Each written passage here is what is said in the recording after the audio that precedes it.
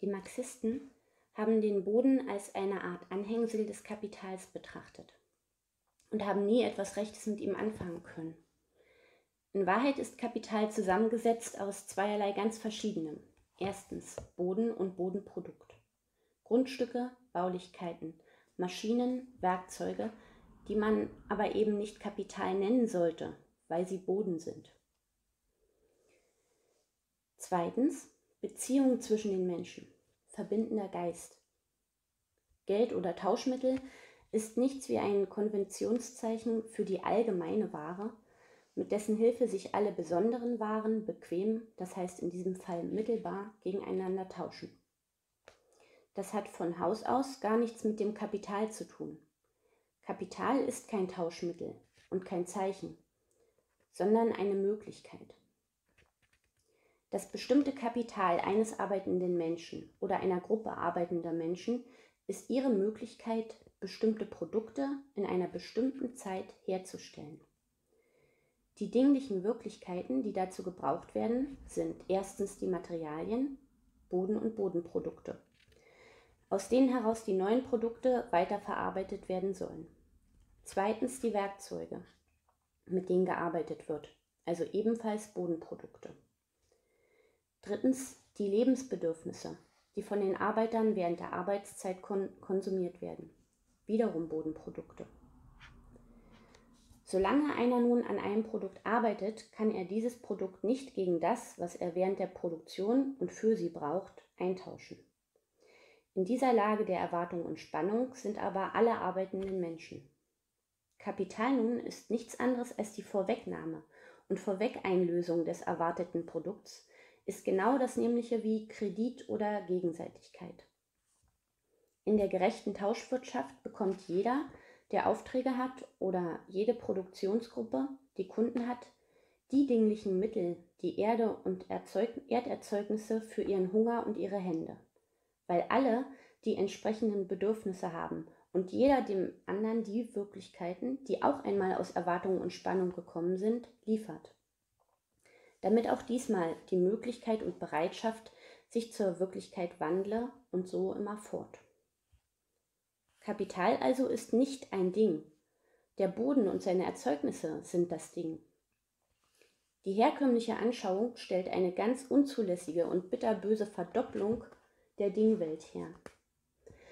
Als ob es außer der einen und einzigen Bodenwelt auch noch die Kapitalwelt als Sache gäbe. Damit wird die Möglichkeit, die nur ein Spannungsverhältnis ist, zu einer Wirklichkeit gemacht. Es gibt nur die eine dingliche Wirklichkeit des Bodens. Alles andere, was man sonst noch Kapital nennt, ist Beziehung, Bewegung, Zirkulation, Möglichkeit, Spannung, Kredit oder, wie wir es hier nennen, der verbindende Geist in seiner wirtschaftlichen Wirksamkeit, der natürlich nicht pfuscherhaft als Liebe und Entgegenkommen in Erscheinung treten, sondern sich zweckmäßiger Organe bedienen wird wie ihrer eines Proudhon als Tauschbank beschrieben hat. Wenn die gegenwärtige Zeit nun, wenn wir die gegenwärtige Zeit nun die kapitalistische nennen, soll damit zum Ausdruck gebracht werden, dass in der Wirtschaft nicht mehr der verbindende Geist waltet, sondern der Sachgötze herrscht. Etwas also, das zwar keine Sache, aber ein Nichts ist, das als Sache genommen wird. Dieses Nichts das als Sache gilt, schafft nun freilich infolge dieser Geltung, weil Geltung Geld ist, den Reichen eine Menge konkrete Wirklichkeiten ins Haus und in die Machthaberei, die alle nicht dem Nichts entstammen, sondern dem Boden und der Arbeit der Armen. Denn jedes Mal, wenn sich die Arbeit dem Boden nähern will, allemal, wenn ein Produkt aus einem Stadium der Arbeit in ein anderes übergehen will und ehe es in den Konsum eingehen darf und im ganzen Prozess der Arbeit, schiebt sich das falsche Kapital ein und erhebt nicht etwa bloß den Lohn für kleine Dienste, sondern überdies den Zins dafür. Dass es so willig war, nicht still zu liegen, sondern zu zirkulieren. Ein Nichts, das als Sache gilt und den fehlenden Geist des Bandes ersetzt, ist, wie hier schon öfter, wie öfter schon erwähnt wurde, auch der Staat. Er tritt überall da, hindernd, stoßend, saugend und drückend zwischen die Menschen und die Menschen wie zwischen die Menschen und den Boden, zwischen die Menschen und die Menschen wie zwischen die Menschen und den Boden, wo das Echte, das von Haus aus zwischen ihnen ist, der Zug, die Beziehung, der Freigeist, verkümmert ist. Das hängt auch damit zusammen, dass das unechte Kapital, das an die Stelle des echten gegenseitigen Interesses und gegenseitigen Vertrauens getreten ist, seine saugende und plündernde Macht gar nicht üben könnte, dass das Grundeigentum von der Arbeit gar nicht Tribut erheben könnte, wenn es nicht durch Gewalt, durch die Gewalt des Staates, seiner Gesetze, seiner Verwaltung und seiner Exekutive gestützt würde. Nur darf man nie vergessen, dass das alles, Staat, Gesetze, Verwaltung und Exekutive, nur Namen sind für Menschen, die, weil ihnen die Lebensmöglichkeit fehlt, sich gegenseitig quälen und vergewaltigen. Namen für Gewalt also zwischen den Menschen. Wir sehen so an dieser Stelle, dass nach der richtigen Erklärung vom Kapital, die hier gegeben wurde, die Bezeichnung kapitalistisch nicht ganz treffend ist, weil mit ihr eigentlich nicht das echte Kapital, sondern das falsche gemeint ist. Aber es lässt sich gar nicht vermeiden, wenn man den Menschen die wahren Zusammenhänge entwirren will, sich zunächst einmal der eingebürgerten Worte zu bedienen, und das ist hier geschehen. Wenn die Arbeiter also finden, dass ihnen das Kapital fehlt, so haben sie in ganz anderem Sinne recht, als sie glauben. Ihnen fehlt das Kapital der Kapitale. Ihnen fehlt das einzige Kapital, das Wirklichkeit ist. Wirklichkeit, obwohl es kein Ding ist. Ihnen fehlt der Geist. Und wie es allen geht, die sich dieser Möglichkeit und Voraussetzung alles Lebens entwöhnt haben, ist ihnen dazu noch die sachliche Bedingung alles Lebens unter den Füßen weggezogen worden, der Boden. Land und Geist also, das ist die Losung des Sozialismus. Die vom sozialistischen Geiste Ergriffenen werden zuallererst nach dem Boden sich umsehen, als der einzigen äußeren Bedingung, die sie zur Gesellschaft brauchen. Wir wissen wohl, dass, wenn die Menschen in ihrer Weltwirtschaft, in ihrer Volkswirtschaft ihre Produkte gegeneinander tauschen, dass dadurch auch der Boden mobil gemacht wird. Der Boden ist längst zu einem Börsenobjekt, ist längst Papieren gemacht worden. Wir wissen auch, dass wenn die Menschen in ihrer Weltwirtschaft, in ihrer Volkswirtschaft Produkt gegen gleichwertiges Produkt tauschen würden, wenn also umfassende Verbände durch die Vereinigung ihres Konsums und den dadurch ohne Zweifel entstehenden außerordentlichen Kredit sich in die Lage setzen, zunächst in immer wachsendem Maße Industrieprodukte für ihren eigenen Bedarf unter Ausschaltung also des kapitalistischen Marktes aus den Rohmaterialien zu verarbeiten. Wir wissen, sage ich, dass sie dann im Laufe der Zeiten ebenso wie Bodenerzeugnisse auch in ansehnlichem Maße Boden selbst kaufen könnten. Wir wissen, dass solchen gewaltigen Konsumproduktivgenossenschaften nicht nur ihr eigener gegenseitiger Kredit, sondern auch ansehnliches Geldkapital schließlich zur Verfügung stehen müsste. Wollten es die Menschen aber darauf ankommen lassen, so hätten sie die endgültige Entscheidung nur hinausgeschoben. Die Bodenbesitzer haben ein Monopol auf alles, was auf dem Boden wächst und aus dem Innern des Bodens geholt wird, auf die Lebensmittel des ganzen Volkes und die Rohmaterialien der Industrie. Der Staat und im Zusammenhang damit ein immer beträchtlicherer Teil, ein immer beträchtlicher Teil des Geldkapitals dem ja wortwörtlich der Boden entzogen und der Atem geraubt wird, wenn es kein Bodeneigentum mehr, aber schon Gegenseitigkeit als sozialistisches Kapital gibt, sie werden, ehe es soweit ist, je mehr kapitalistischer Handel und kapitalistische Industrie durch die Konsumproduktivgenossenschaften ausgeschaltet werden, umso mehr zu den Bodenmagnaten halten. Der Boden wird den für ihren eigenen Konsum arbeitenden Genossenschaften nicht von selber zufließen, wird ihnen vielmehr seine Produkte verteuern oder geradezu versperren. Sperren.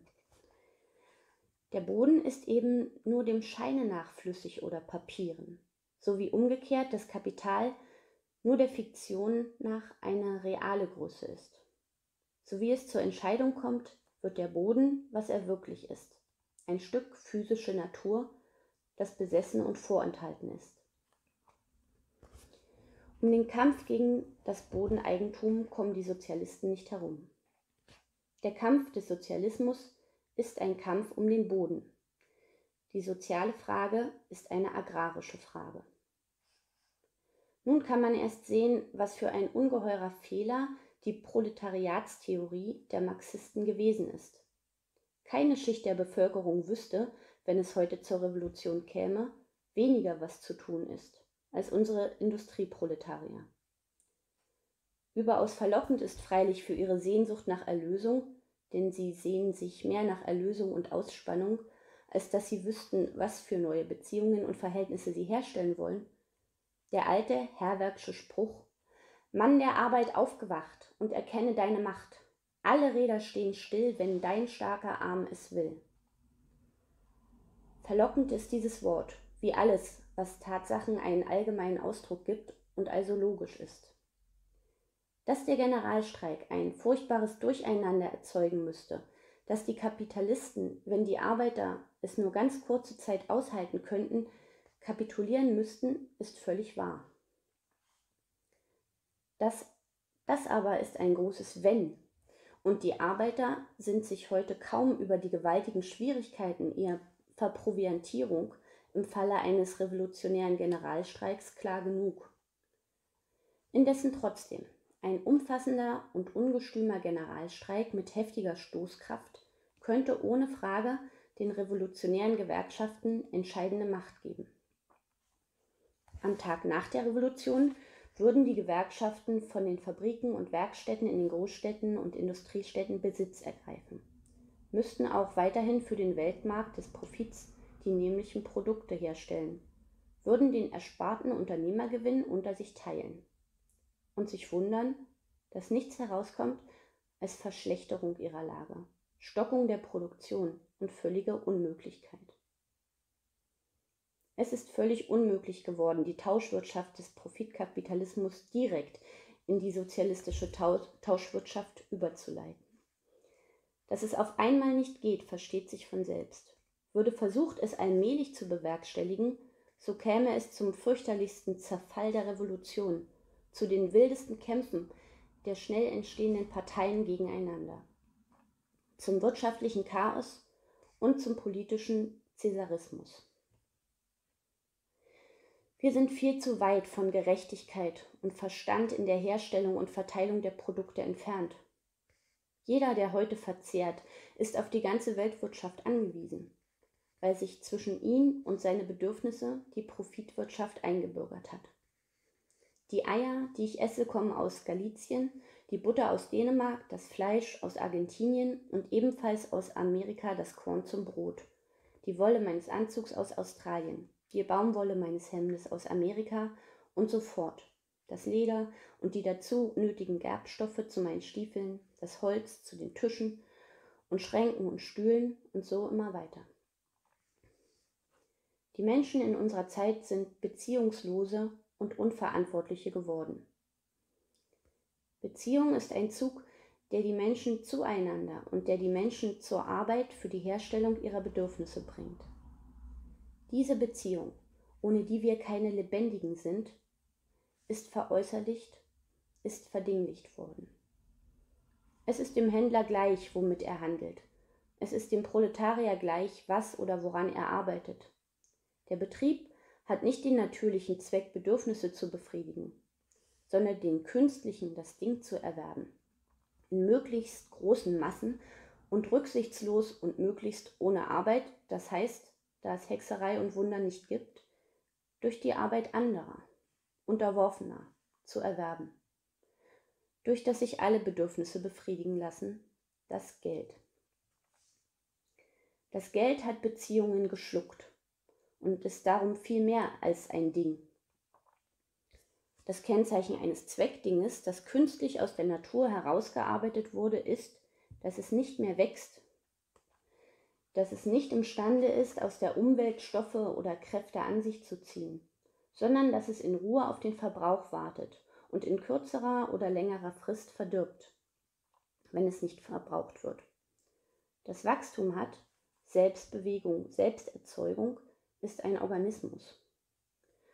Und so ist denn das Geld ein künstlicher Organismus. Es wächst, es gebiert Kinder, es vermehrt sich überall da, wo es ist und ist unsterblich.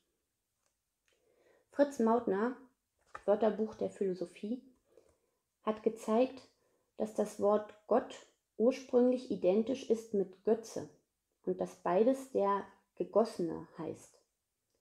Gott ist ein von den Menschen gemachtes Erzeugnis, das Leben gewinnt, Leben der Menschen an sich zieht und schließlich mächtiger wird als all die Menschheit.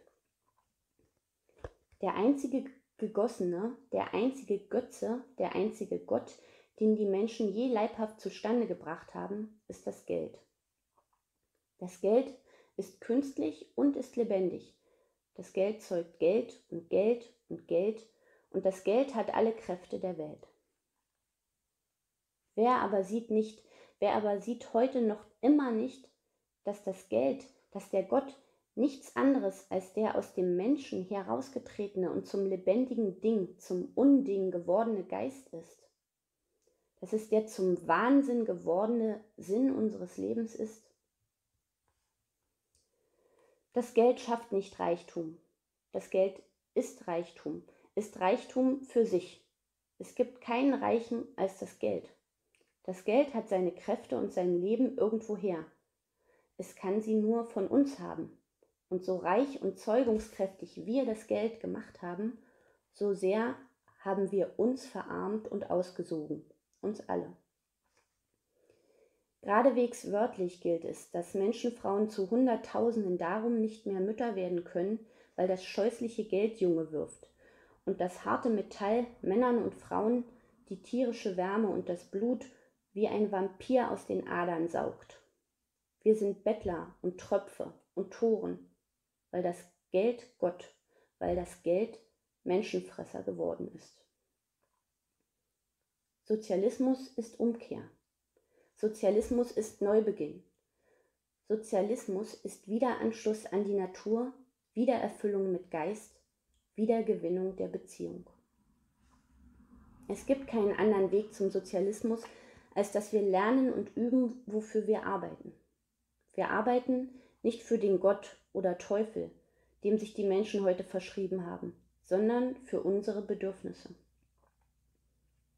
Wiederherstellung der Beziehung zwischen Arbeit und Verbrauch, das ist Sozialismus. Der Gott ist jetzt schon so gewaltig und allmächtig geworden, dass er nicht mehr durch eine bloße sachliche Umgestaltung, durch eine Reform der Tauschwirtschaft abzuschaffen ist. Die Sozialisten also wollen wieder in Gemeinden zusammentreten und in den Gemeinden soll hergestellt werden, was die Gemeindemitglieder brauchen.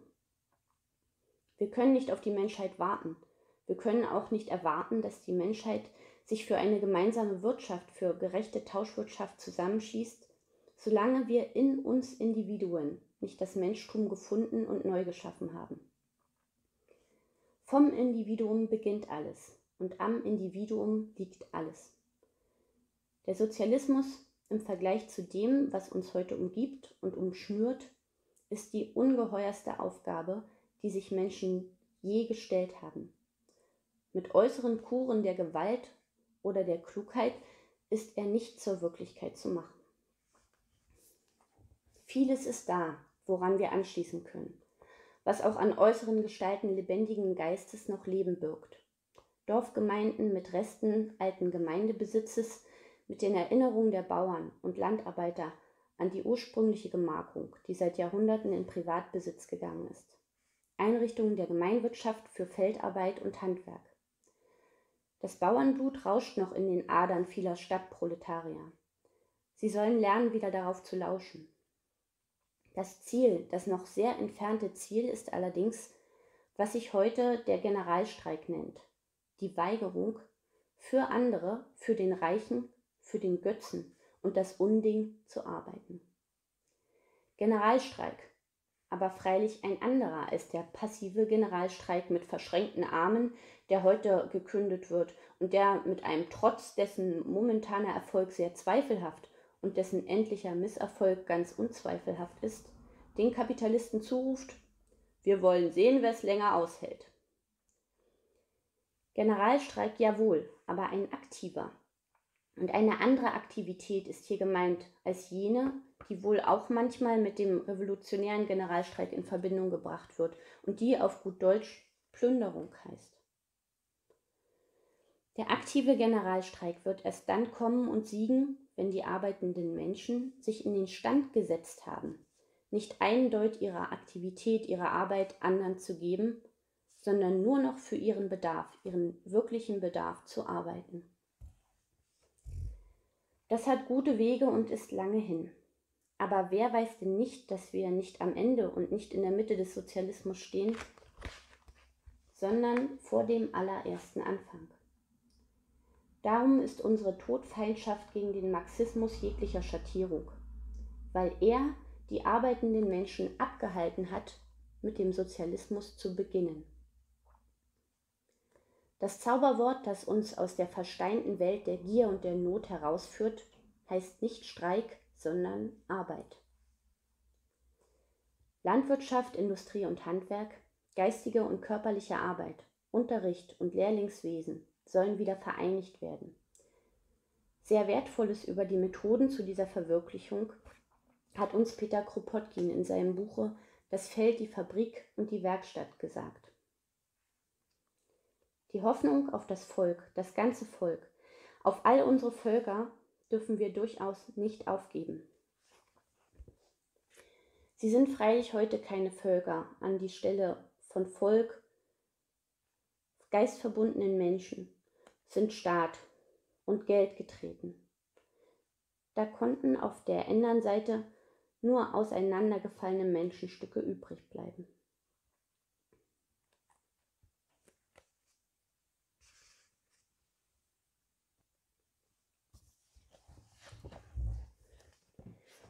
Volk kann erst wieder werden, wenn die Einzelnen, die Vorausgehenden, die Geistigen mit Volk trächtig sind.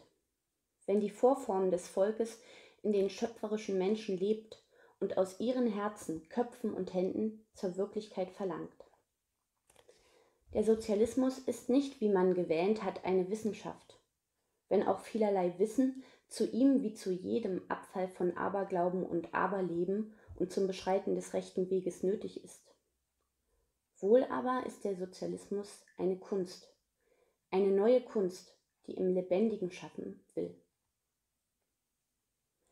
Aus allen Schichten werden jetzt die Männer und Frauen aufgerufen, damit sie vom Volke fortgehen, um vom Volke zu kommen.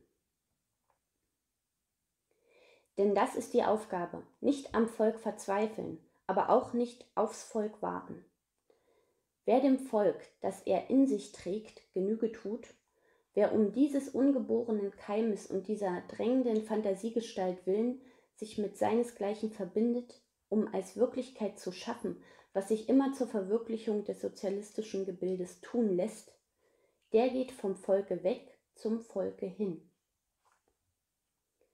Aus denen, die den tiefsten Ekel und die stärkste Sehnsucht und wahren Gestaltungsdrang in sich bergen, wird der Sozialismus eine Wirklichkeit, die anders aussieht, je nach der Zahl derer, die sich zu ihm zusammentun. So wollen wir uns denn aneinander schließen und wollen darauf ausgehen, sozialistische Gehöfte, sozialistische Dörfer, sozialistische Gemeinden zu gründen. Die Kultur beruht nicht auf irgendwelchen Formen der Technik oder der Bedürfnisbefriedigung, sondern auf dem Geiste der Gerechtigkeit. Wer am Sozialismus tun will, muss aus dem Vorgefühl einer geahnten und auch ungeahnten ungekannten Freude und Seligkeit heraus ans Werk gehen. Alles müssen wir erst wieder lernen. Die Freude der Arbeit, der Gemeinsamkeit, der gegenseitigen Schonung. Alles haben wir vergessen und spüren es doch alles noch in uns. Diese Siedlungen, in denen die Sozialisten sich nach Möglichkeit abschließen vom kapitalistischen Markt und nur so viel an Wert hinaus exportieren, als sie noch von draußen hereinbekommen müssen, sind nur kleine Anfänge und Proben. Sie sollen hinausleuchten ins Land, damit über die Volklosen Menschenhaufen der Neid komme. Der Neid nicht auf Genussgüter oder Machtmittel, sondern der Neid auf die neue, uralte Seligkeit der Zufriedenheit mit sich selbst, der Beglücktheit im Schoß der Gemeinde. Der Sozialismus als Wirklichkeit kann nur erlernt werden. Der Sozialismus ist wie jedes Leben ein Versuch. Alles, was wir dichterisch heute schon in Worten und Beschreibungen zu gestalten versuchen, die Abwechslung in der Arbeit, die Rolle der geistigen Arbeit, die Form des bequemsten und unbedenklichsten Tauschmittels, die Einführung des Vertrags an die Stelle der Justiz, die Erneuerung der Erziehung, all das wird Wirklichkeit werden, indem es verwirklicht wird und wird durchaus nicht nach einer Schablone geordnet werden. Dankbar aber werden wir dann derer gedenken, die schon im Denken und der Fantasie vorausgelebt haben. Gemeinden und Länder des Sozialismus in gegliederten Gestalten geschaut haben. Die Wirklichkeit wird anders aussehen als ihre individuellen Gestaltungen. Aber die Wirklichkeit wird von diesen ihren Bildern abstammen. Gedenken wir hier noch einmal Prudence und all seiner scharf umgrenzten, nie ins Nebulose sinkenden Gesichte aus dem Lande der Freiheit und des Vertrags. Gedenken wir manches Guten, was Henry George Michael Fürsheim, Silvio Gesell, Ernst Busch, Peter Kropotkin, Elisee Reclus und viele anderen Reclus und viele andere geschaut und beschrieben haben. Wir sind die Erben der Vergangenheit, ob wir wollen oder nicht. Schaffen wir uns in den Willen, dass die kommenden Geschlechter unsere Erben seien, dass wir mit allem, was wir leben und tun, in die kommenden Geschlechter und in die uns umgebenden Menschenmassen hineinwirken.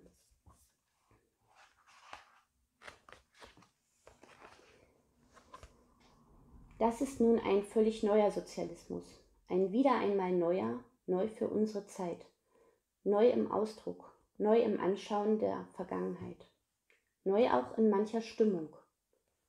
Neu umblicken müssen wir uns nun auch in dem, was ist. Die Menschenschichten, die Einrichtungen und Überlieferungen müssen wir neu betrachten.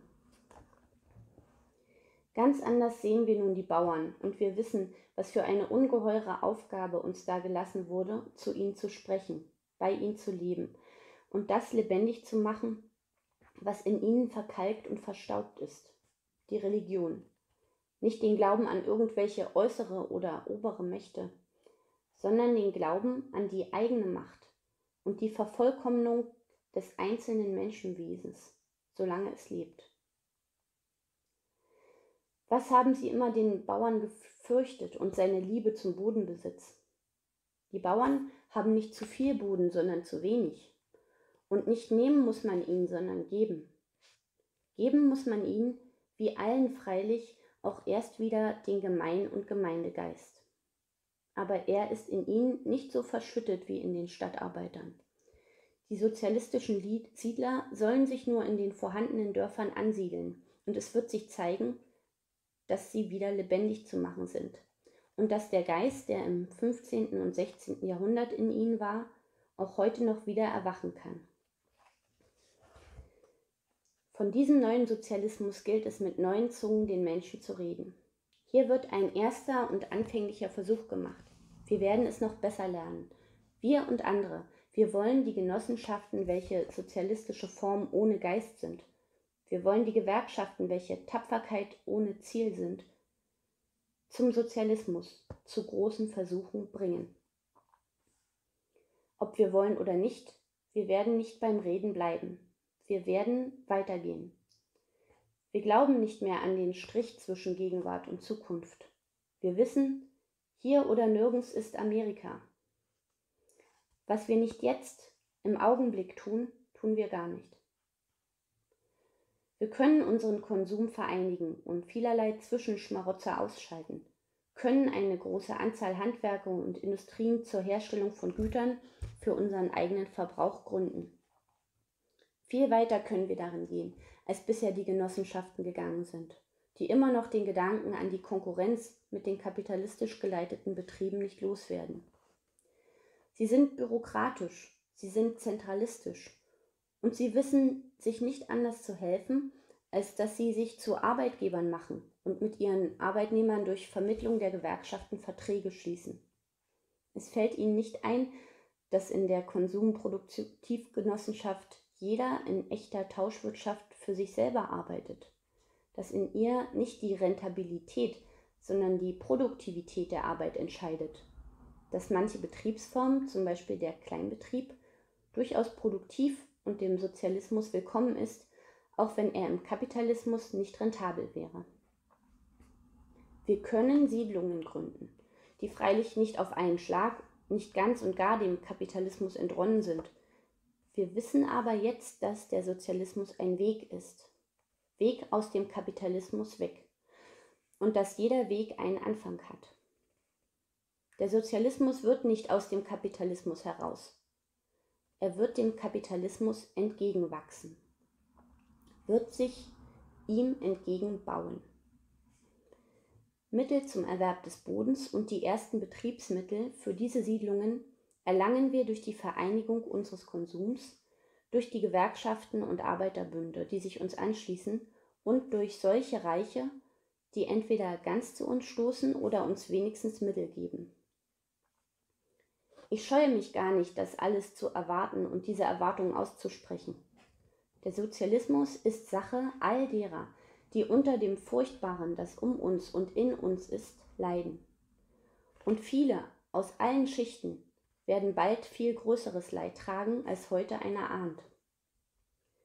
Nichts Besseres im Sinne des Anstands und der eigenen Erlösung kann einer mit eigenem Gelde, können auch die Arbeitervereine mit ihrem Gelde tun, als es ein für allemal wegzugeben und dafür Land für den Anfang des Sozialismus freizumachen. Dem Land, wenn es einmal frei ist, sieht es keiner an, und es selber spürt es nicht, dass es gekauft worden ist. Nur nicht zimperlich, Arbeiter. Ihr kauft Schuhe, Hosen, Kartoffeln, Heringe. Wäre es nicht für den Anfang schön, wenn ihr arbeitende und leidende Menschen gleich viel, welche Rollen euch bisher zugewiesen waren, eure Kraft zusammenwerfen wolltet, um euch vom Unrecht loszukaufen und auf eigenem Grund, fernerhin das meiste, was ihr braucht, für eure Gemeinschaft selber zu arbeiten. Vergessen wir nicht, sind wir im rechten Geiste, so haben wir alles, was wir für die Gesellschaft brauchen. Alles außer dem einen, Land. Der Landhunger muss über euch kommen, Großstadtmenschen. Sind überall im Lande, im Norden, Süden, Osten und Westen, in allen Provinzen sozialistische Siedlungen und Eigenkultur, in die Gemeinheit der Profitwirtschaft hineingesprengt, die gesehen werden, deren Lebensfreude unerhörter, wenn schon stiller Art gespürt wird, dann summt der Neid stärker und stärker. Dann, glaube ich, regt sich das Volk, dann beginnt das Volk zu erkennen, zu wissen, die Sicherheit zu haben, es fehlt nur eines von Äußerem, um sozialistisch, gedeihlich, selig zu leben, der Boden. Und dann werden die Völker den Boden frei machen und nicht mehr für den Götzen, sondern für den Menschen arbeiten. Dann fangt nur erst an. Fanget beim Kleinsten an und mit der kleinsten Schar. Der Staat, das heißt die Massen, die noch nicht bei der Erkenntnis sind, die Schichten der Bevorzugten und derer beider Vertreter, die Regierungs- und Verwaltungskaste, werden den Beginnenden die größten und die kleinlichsten Hindernisse in den Weg legen. Wir wissen es. Die Zerstörung aller Hindernisse kommt, wenn sie wirkliche Hindernisse sind, wenn wir nämlich ganz dicht, sodass nicht der kleinste Zwischenraum mehr ist, bis zu ihnen herangerückt sind. Jetzt sind sie nur Hindernisse der Voraussicht, der Fantasie, des Bangens. Wir sehen schon, das und das und das wird man uns wenn es erst soweit ist, in den Weg legen und tun einstweilen lieber gar nichts. Lassen wir es doch erst soweit sein. Gehen wir wenigen doch voran, damit wir die vielen werden. Dem Volk kann niemand Gewalt antun als eben dieses Volk selber. Und große Teile des Volkes halten zum Unrecht und zu dem, was ihnen selber an Leib und Seele Schaden tut, weil unser Geist nicht stark, nicht ansteckend genug ist. Unser Geist muss zünden, muss leuchten, muss verlocken und an sich ziehen.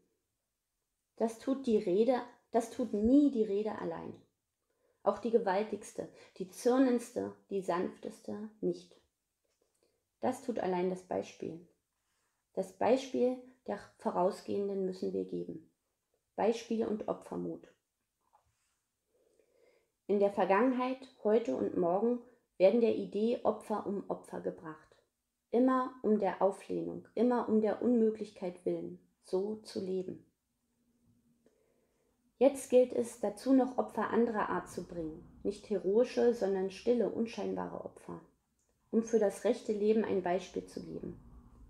Dann werden aus den wenigen viele werden, und auch die vielen werden wenige sein. Hunderte, Tausende, Hunderttausende, zu wenig, zu wenig. Und es werden mehr, und sie sind immer noch zu wenig. Aber doch werden die Hindernisse überwunden, denn wer im rechten Geiste baut, zerstört im Bauen die stärksten Hindernisse. Und endlich, endlich wird der Sozialismus, der so lange geglüht und geflammt hat, endlich wird er leuchten. Und die Menschen, die Völker werden mit großer Sicherheit wissen, sie haben den Sozialismus und die Mittel, ihn zu verwirklichen, ganz und gar in sich und zwischen sich, und nichts fehlt ihnen als dieses eine Land. Und sie werden das Land frei machen, denn niemand hindert das Volk mehr, da das Volk sich selbst nicht mehr im Wege steht. Die werden aufgerufen, die tun wollen, was ihre Kraft vermag, um diesen Sozialismus zu schaffen. Nur die Gegenwart ist wirklich. Und was die Menschen nicht jetzt tun, nicht sofort zu tun beginnen, das tun sie in alle Ewigkeit nicht. Es gilt das Volk, es gilt die Gesellschaft, es gilt die Gemeinde, es gilt Freiheit und Schönheit und Freude des Lebens. Wir brauchen Rufer im Streit. Wir brauchen alle, die von dieser schaffenden Sehnsucht voll sind. Wir brauchen Täter. Die Täter, die Beginnenden, die Erstlinge werden aufgerufen zum Sozialismus. Wer es nicht in den Stunden, in denen diese Worte und ihr Gefühl nun zu ihm gesprochen haben, schon gehört hat, dem sei es jetzt zum Abschied gesagt.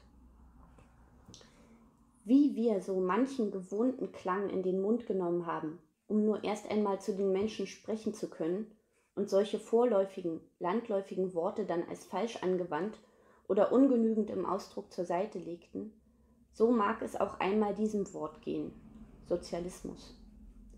Vielleicht ist dieser Aufruf auch dazu der Anfang eines Weges, ein besseres, ein tiefer heraufgeholtes, ein weiterhin weisendes zu finden.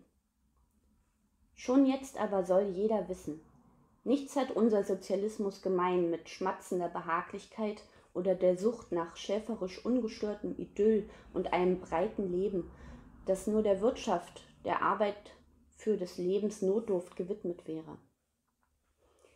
Viel war hier von der Wirtschaft die Rede.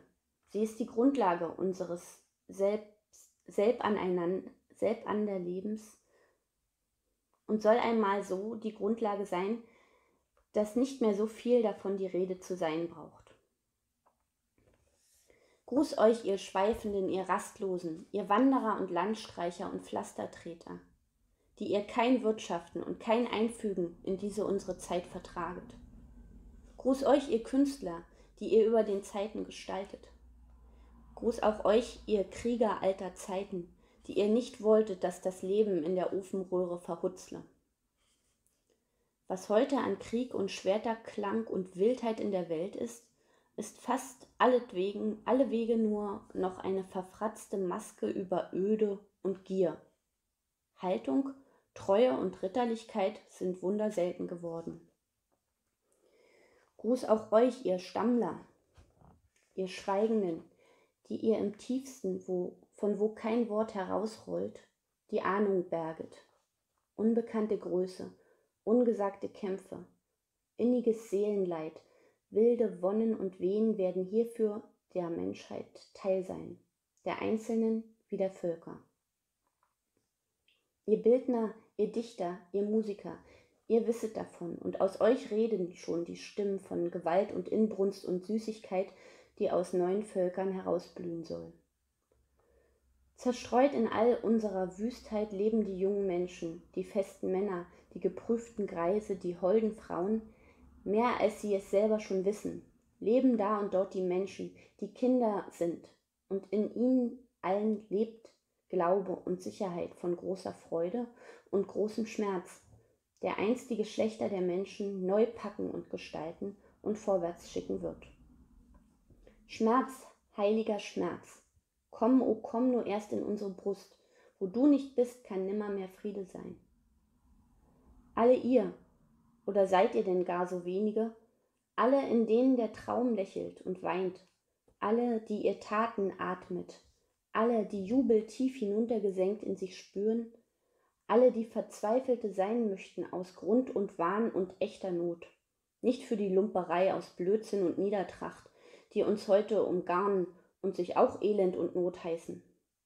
Alle, die heute einsam sind und Form, das heißt aber Bild und Rhythmus gesammelter Gestaltungskraft in sich tragen, alle, die den Befehl aus sich herauslassen können, im Namen der Ewigkeit, im Namen des Geistes, im Namen des Bildes, das wahr und Weg werden will.